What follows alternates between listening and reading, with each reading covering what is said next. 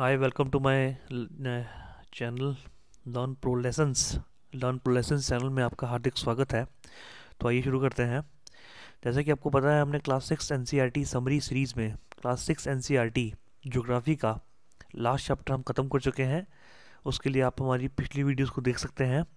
अब हम अपनी इसी क्लास की क्लास सिक्स की एन समरी सीरीज़ में chapter number one of history शुरू करने जा रहे हैं। देखिए, मेरा इन एन सी समरी सीरीज़ को लाने का मकसद ये रहता है कि आपको कोई एक्स्ट्रा किताबें ना पढ़नी पड़े और आपको एन बहुत कम टाइम में आप इजीली अपने एग्ज़ाम्स के लिए प्रिपेयर कर पाएँ। तो आइए शुरू करते हैं।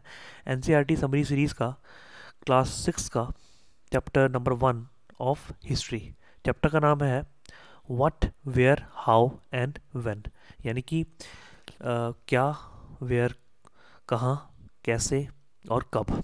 तो आइए इसको शुरू करते हैं।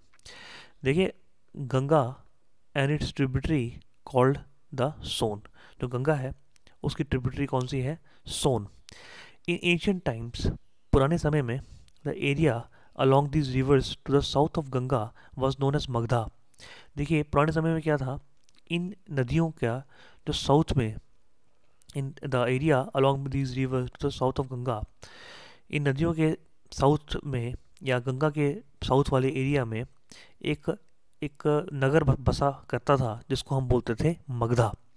वो जो मगध है, वो आज के बिहार में आपको देखने को मिल जाएगा। ये जो मगध एम्पायर था its rulers were very very powerful and set up a large kingdom इन्होंने अपना बहुत बड़ा किंगडम यहाँ पर बसाया था। द वर्ड इंडिया जो वर्ड इंडिया है, ये कहाँ से आता है? फ्रॉम द इंडस इंडस आप जानते हैं इंडस एक रिवर है। जिसको हम सिंधु बोलते हैं संस्कृत में। तो जो वर्ड इंडिया है, वो आया है इंडस से यानी कि सिंधु इन संस्कृत से। The Iranians and the Greek who came through the north west जो इरानियंस और ग्रीक थे, जो नॉर्थ वेस्ट से आए थे, कब आए थे?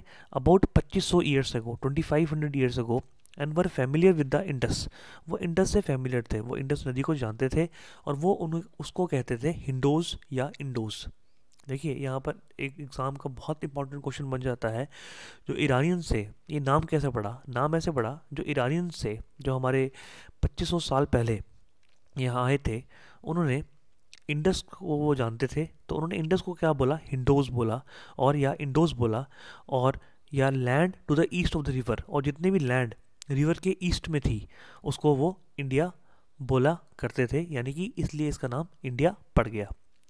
देखिए, किसी भी जगह का नाम जब पढ़ता है तो किसी न किसी वजह से पढ़ता है और आपकी जीके के लिए बहुत इंपॉर्टेंट है। The name Bharata was use for a group of people who lived in the north west और भारत किसके लिए बोला गया? जो नॉर्थ वेस्ट में रहते थे और ऋग्वेदा में। आपको पता है, हमारे चार वेद हैं, उनमें से ऋग्वेद एक है। तो ऋग्वेदा में जो नॉर्थ वेस्ट के लोग थे, उनको भारता कहा गया। The earliest composition in Sanskrit Rigveda आपको बताता है कि संस्कृत की एक बहुत पुरानी संकाय कंपोजिशन है, जो कि 3500 साल पहले लिखी गई। Books date written long ago these are called manuscript जो किताबें बहुत पहले लिखी गई थी इस तरह की, उन्हें क्या बोला गया? Manuscript because they written by hand और ये हाथ से लिखी जाती थी, इसलिए जो ये वर्ड है मेन्यू ये लैटिन वर्ड भाषा का शब्द है, जिसका मतलब है hand these for specially return on palm leaf और ये पाम के पत्ते पर लिखी जाती थी, या एक पेड़ की छाल से, जिसको हम बिर्च बोलते हैं, जो हिमालयस में उगाई जाती थी, उस पर लिखी जाती थी। A page from a palm leaf manuscript this manuscript was written about a thousand years ago the palm leaves were cut into pages जो पाम लीव था, उसको डिफरेंट डिफरेंट पेजेस में कट किया जाता था और उसको जोड़कर आपस में एक पूरी की पूरी किताब बना दी जाती थी। देखिए आपको ये पॉइंट टू पॉइंट मैं इसलिए समझा रहा हूँ कि पूरी की पूरी किताब ना पढ़नी पड़े। मैंने सिर्फ़ वही पॉइंट्स एन से उठाए हैं जो कि आपके लिए इंपॉर्टेंट है। इंस्क्रिप्शन मतलब जिसमें कोई चीज़ इंस्क्राइब्ड की जाती है, उसको हम इंस्क्रिप्शन बोलते हैं। 2250 साल पहले लिखी गई और आज कंधार में, कंधार कहाँ पर है? आज अफ़गानिस्तान में ये मिलती है। It was inscribed on the orders of a ruler name Ashoka और ये अशोका के नाम पर इंस्क्राइब्ड की गई थी। अशोका के बारे में आपने पहले पढ़ रखा होगा। Years are counted from the dates generally assign to the birth of Jesus अब देखिए नेक्स्ट टॉपिक आपके लिए बहुत इंपॉर्टेंट आ गया। ये ईयर्स हैं, जो साल हैं, उनकी गणना जो वेस्टर्न कैलेंडर है, उसमें बर्थ ऑफ़ जीसस क्राइस्ट से ली जाती है। जीसस क्राइस्ट कौन थे? The founder of Christianity so 2000 means 2000 years after the birth of Christ तो 2000 अगर लिखा गया मतलब कि 2000 years after the birth of Christ 2000 साल क्राइस्ट के बर्थ के बाद all dates before the before of Christ all dates before the birth of Christ are counted backwards देखिए, जितनी भी डेट्स हैं, जितनी भी तिथियाँ हैं, जो कि क्राइस्ट के बर्थ से पहले मानी जाती हैं and usually have letter B C देखिए, अगर आप ये मान लीजिए क्राइस्ट हैं इनके बर्थ से पहले जितनी भी डेट्स हैं, उनको हम बीसी के नाम से जानते हैं, यानी कि बिफोर क्राइस्ट यानी कि क्राइस्ट के बर्थ से पहले, और ऐसे हम इस हिसाब से इसकी काउंटिंग करते हैं। मान लीजिए, मैं लिखूं टू थाउज़ेंड बीसी इसका मतलब क्या होगा? 2000 साल क्राइस्ट के जीसस क्राइस्ट के बर्थ से पहले। तो बीसी का मतलब क्या रहता है? बिफोर क्राइस्ट इसको आप याद रखेंगे, बहुत इंपॉर्टेंट है।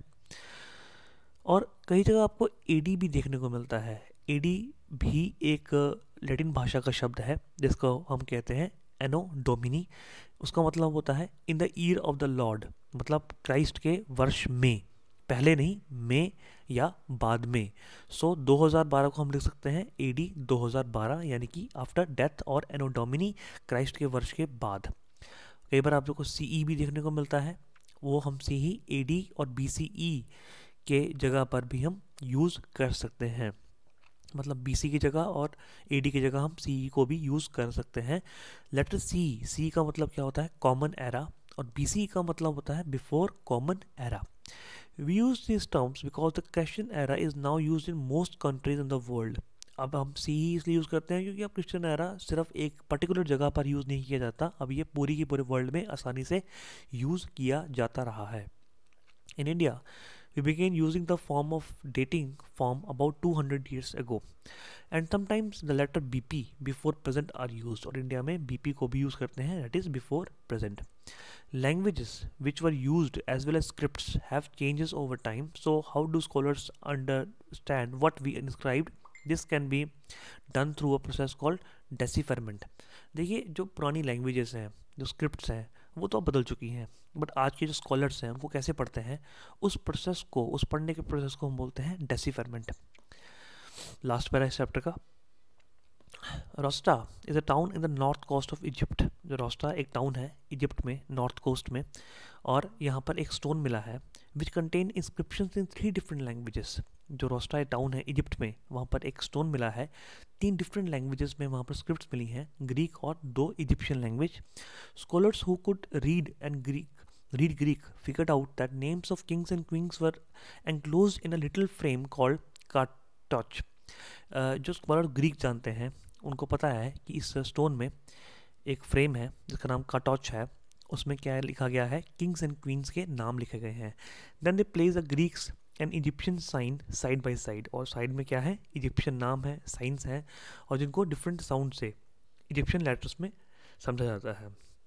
तो ये था आपका फ़र्स्ट चैप्टर देखिए, मैंने कितने ही कम समय में सिर्फ़ इंपॉर्टेंट पॉइंट्स एन के उठाकर आपको हिस्ट्री का एन का क्लासिक्स का पहला चैप्टर समझा दिया। ऐसे ही नेक्स्ट वीडियो के लिए आप इस चैनल को सब्सक्राइब करें कमेंट करें और मुझे बताएँ कि आपको कहाँ पर समझ में नहीं आया और क्या पार्ट आपको बेहतर लगा। और नेक्स्ट वीडियो में आपको मैं जल्दी ही मिलता हूँ। सब्सक्राइब करते रहिए शेयर करते रहिए लाइक करते रहिए लर्न प्रो लेसन्स पहले नाम था लर्न प्रो अब हो गया है लर्न प्रो लेसन्स और अगर अगर आपको सर्च करने में, क्योंकि लर्न प्रो के नाम से बहुत सारे चैनल्स हो सकते हैं, अगर आपको सर्च करने में कोई दिक्कत आती है तो सिंपली टाइप करिएगा N C E R T summary series class six to twelve by learn pro तो आपको मेरे वीडियो वहाँ पर दिख जाएगी। थैंक यू सो मच मिलते हैं आपको नेक्स्ट वीडियो में।